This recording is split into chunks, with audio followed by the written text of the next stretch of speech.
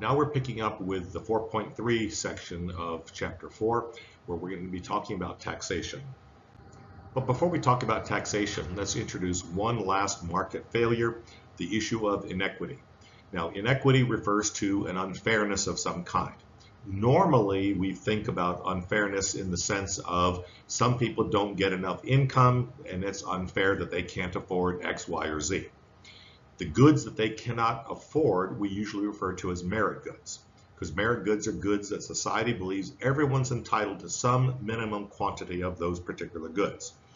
We could think of food, you know, a certain amount of food that you need, a certain amount of medical care that you need, or some other good for which it's unfair if somebody cannot afford it. So clearly the government steps in using taxation to transfer money in one way or another, either directly as a transfer payment which would mean a cash payment to somebody that they could use to spend themselves on some particular good, or the government could provide the good directly. Like we provide public schools for young people, even if their parents cannot afford it, we believe schools are a merit good and everyone should have some amount of it irrespective of their income. And so the government steps in to provide those goods. Now, of course, this has caused a great deal of growth in the government. As you can imagine, uh, since 1900, we've seen the government grow um, 10 times in the number of employees it's had. It has, and uh, the budget has grown 6,000 times since 1900. All of this, of course, happening in a democratic society, so people are voting for the government doing more and more and more. In this particular graph, we can actually see a um, chart of the different levels of government spending. Normally we break down the total government into federal government and then state and local government separately. So in this particular graph, you can see the orange line is the federal government spending. The blue line is the state and local government spending. You add the two together and you hit the green line and the green line would be the total government spending. Now, in this particular example, we have to be careful. This is not total spending of all monies. It's total spending on government purchases which means the government hires a worker, the government buy, buys a fire truck, the government builds a public hospital, where the government is literally spending money on a good or a service. Now, a big chunk of what the government does today is called a transfer payment, which we will spend more time on later, where the government does not actually buy anything. Instead, it sends a check to someone and lets them buy it for themselves. So this is only the government purchases of goods and services. And we're not measuring these in dollars. You'll notice on the um, y-axis, we're measuring in percentage of the total GDP. So we can see that at one time, federal spending was a very small part of the total economy, under two or 3%. And even then, um, in the 1930s, state and local still spent a pretty good bit. We're talking about somewhere around 8% of the total economy was spent by a, a state or local government. That would be what? Building roads, um, schools, hiring teachers, firemen, police officers, those kinds of things would, would be in, in the blue line. You take the orange line, add it to the blue line, then you end up with the green line. So the green line, again, measuring as a percentage of the economy, you can see that starting in the 1930s, federal spending starts to rise as a percentage of the economy. State and local declines to the 1940s. During this time period, everyone knows the 1940s is a time period of World War, so we can see federal spending skyrockets as a percentage of the economy, almost reaching half the half of the entire U.S. economy was being processed through the government to fight the war. And then, of course, when the war ends, that percentage drops dramatically down to around 5%. But over time, you can see it bobbles around. Federal purchases uh, hit their peak somewhere in the 19, uh, other than wartime, in the 1950s, there's another war going on. This is the Korean War, so federal expenditures again skyrocket. You can see state and local spending in the 1950s all the way through the 1970s has been rising as a percentage of the economy from somewhere around 5% up to around 13% of the total economy.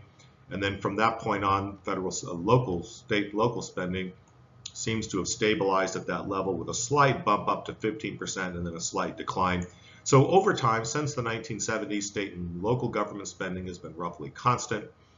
The federal spending percentage kind of bubbled up and down, up and down, but ended up being approximately constant over that time period, giving a total government purchases as a percentage of the economy.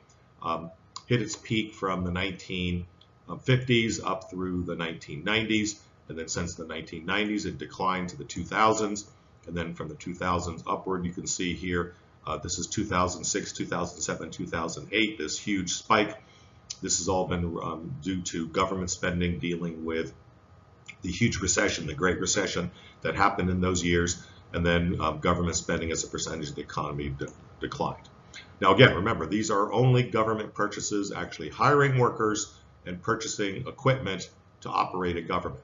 This is not counting issues dealing with uh, transfer payments. Now, each level of the government, the federal, state, and the local, creates a budget of funds inflow and an outflow. The inflow, of course, is the source of funds. Where does the government get its money?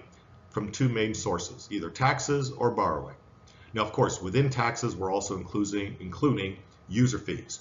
That would be something like um, if you ever jump on the uh, quote-unquote Lexus lanes on the interstate, where you have to you have to use your Peach Pass and you have to pay to use that particular lane, that would be an example of a user fee. Most of us are familiar with regular taxes, you know, sales taxes, property taxes, income taxes. Or the government can borrow. Outflows would be what are they using the funds for? They can purchase goods and services, they can make payments for re resources used, and then of course transfer payments, things like Social Security, where the government does not actually buy food um, for old people. What they do instead is they just send you a Social Security check and then you go buy your own food. Now let's take a look at the growth of the government.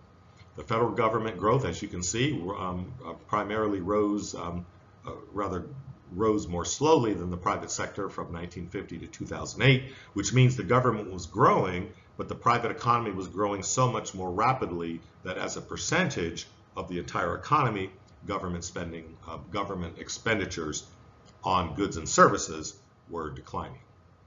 Uh, most of the growth in federal spending has been from increased transfer payments, such as Social Security payments, things like that. That's been the main growth um, in the United States for the federal level. At the state and local level, state and local governments buy a lot more output than the federal government does, because the federal government mostly buys what? Military goods, and then what? National Park Service rangers and a few other people. The federal government is nowhere near as large as all 50 state governments combined because they're providing what K through 12 education, roads, and a whole bunch of other things. So state and local government is much larger in total when you put all 50 states together than is the federal government. Now let's talk about taxation, which is supposed to be the main focus of this particular uh, set of lectures. Now, of course, um, tax revenue pays for most of government spending. Um, uh, there's a change in the output mix as more government spending absorbs factors of production that could be used to produce consumer goods. This is just a fancy way of saying it's pretty should be pretty obvious to you that if you were thinking of buying yourself a nice fancy Mercedes because you have no taxes and therefore you have all your income, you have enough money to buy the Mercedes, if the government now puts a tax of 30% on your income, your income drops low enough that you can no longer afford the Mercedes. Instead, you're going to buy um, a Nissan.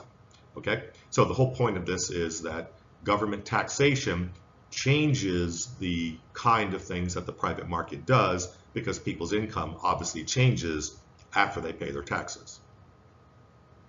The opportunity cost of taxation, what does that mean? Remember, everything has a cost. And that's the opportunity cost. What are the things given up whenever you make a choice? So whenever we have taxation and the government chooses, let's say, to ship a whole bunch of missiles over to Ukraine so the Ukrainians can continue fighting the war, then obviously those resources have to come from somewhere because those you know, missiles are made of steel and there's a whole bunch of um, labor, a lot of it very high tech labor, engineers have to be working on those programs. They can't simultaneously be working on a private sector program. So the opportunity cost of taxation is measured by what private sector activity or output has to be sacrificed if the government is going to take those resources and use them for some other purpose. Now, as long as the government is using it for a purpose more valuable than what we sacrifice, then we would normally say that's a good thing. But of course, if the government is using it to do things that are of lower value than the sacrifice that has to be made, then of course that's squandering resources. Now let's take a look at the federal taxes themselves. We're not going to look at the state and local for now. We're just going to look at federal. As you can see from this pie chart, the um, individual income tax is 50% of all the government revenue, uh, rather government taxes come from the individual income tax. And then the Social Security tax makes up 35%. So between the two of them, between income tax and Social Security tax, that's 85% of all taxes paid at the federal level. Uh, corporate income taxes make up only 7% because it turns out that corporate income is dramatically smaller than is individual income. So you would expect that corporate taxes, even if the rate is the same, you would expect to collect less dollars of taxes because there's a smaller amount of income being taxed. And then last but not least, all other taxes that would be excise taxes, custom duties, estate and gift taxes, and other miscellaneous taxes all together add up to about 8% of the total collected by the federal government. Now, the income tax, let's take a look at this. Since it's the largest tax collected by government, in total dollars, I mean, uh, the federal income tax is a progressive tax. And a progressive tax means that as your income tax rises, the tax rate also rises. Now with a proportional tax, as your income tax as your income rises, the tax rate remains the same and the tax rate doesn't go up. But with a progressive tax, the tax rate itself goes up. So in other words, taxes paid to the government rise more rapidly than income rises. So if income rises at 10%, if you're going to raise the tax rate on that, then the government might collect 20% more even though income has only risen 10%. Now, compared to those with lower incomes, those with higher incomes both pay more taxes and they pay at a higher rate, so they pay a higher fraction of their income in taxes. The Social Security tax is a regressive tax. What this means is as income rises, tax rates fall. It turns out with Social Security, once your income goes above, I think it's 96,000, but we could check. I mean, the, the, dollar amount is not important. I'm not going to test you on that. But above a certain amount, you no longer pay any further Social Security tax. So if you make a half a million dollars a year, you only pay Social Security tax on the taxable portion, which will be the first 96,000. So obviously, if you were making $500,000, your Social Security tax as a percentage of your entire $500,000 income would be lower than would a worker who is only making up to the 96,000. dollars For them, they pay the, uh, the Social Security tax on everything that they earn. But of course, the Social Security payments are also regressive. Rich people don't get it um, as a percentage of their income. Their Social Security their Social Security payment is also smaller. Not the dollar amount. Let's assume that uh, a uh, a plumber gets a $2,000 Social Security check and a high-flying lawyer gets a Social Security check of $2,000 when they are retired. $2,000 is a much higher percentage of what the plumber's income had been when they were working than would $2,000 check for a you know, multimillionaire lawyer. It would only be a pittance compared to their total income. So the Social Security tax might be regressive, but so are the um, payments by Social Security. Corporate taxes are a progressive tax rate. Uh, as, your as, you, as, a as, a corporation earns more money, it gets into a higher tax bracket. Um, excise taxes are usually fixed as a percentage uh, on a good or a service, like the tax you pay on when you get a new um, tire. When you buy a tire, not only do you pay for the tire, but you also pay, there's a certain road tax or whatever that the government charges you on your tires.